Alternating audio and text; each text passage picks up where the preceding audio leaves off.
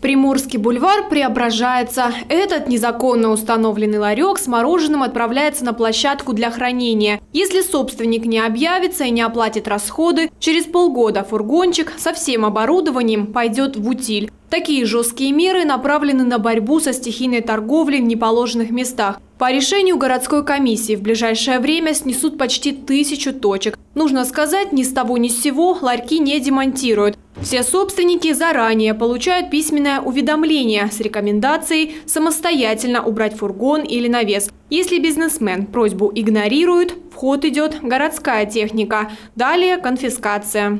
К владельцу может быть применено взыскание, если он обращается к нам с просьбой вернуть. Он подтверждает это документально, либо решением суда, либо документы предоставляет, что это имущество ему принадлежит.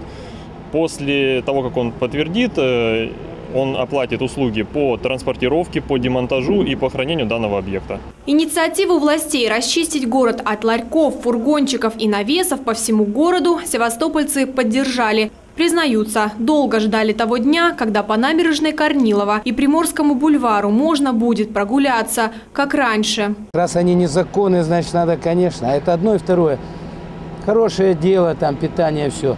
Ну, здесь же Приморский бульвар. Здесь, как везде в Европе, должны только цветы девушки продавать, пирожное, мороженое.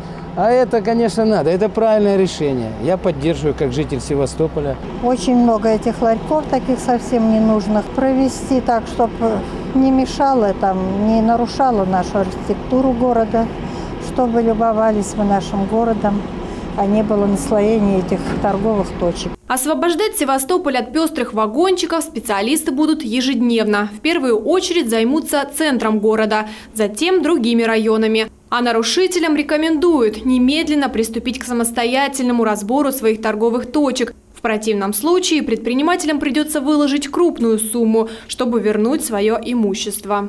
Анна Леготина, Дмитрий Воробяк. Информационный канал Севастополя.